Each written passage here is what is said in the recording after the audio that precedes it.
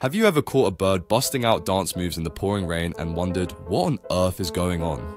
Here's a wild secret. Some birds actually love to dance in the rain, and it's not just for fun. Scientists have uncovered that this feathery flash mob is all about survival. Picture a robin shaking its wings, hopping and spinning as rain pelts down. Those funky moves help them shake loose pesky parasites and dirt, giving their feathers a deep, natural clean that's way more effective than a simple shake. But that's not all. The rain softens the ground, making it easier for birds to spot and snatch up juicy worms wriggling to the surface, turning their rain dance into a clever dinner bell. And get this, some birds even use these energetic displays to impress potential mates, showing off their health, strength, and vitality in the most dramatic, eye-catching way possible. Imagine synchronized choreography, droplets flying, feathers glistening under stormy skies.